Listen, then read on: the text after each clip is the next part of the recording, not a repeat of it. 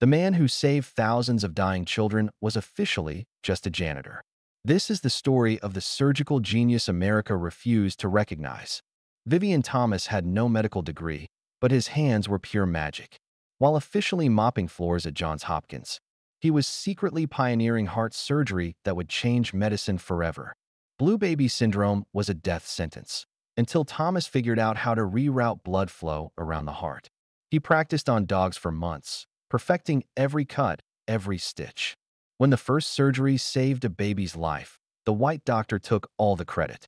Thomas wasn't even allowed in the operating room as a colleague. He had to guide the procedure from the corner. For 30 years, Thomas saved lives in the shadows. Finally, Johns Hopkins gave him what he deserved, an honorary doctorate and a portrait hanging where it belonged, in the halls he revolutionized. The janitor who became a legend.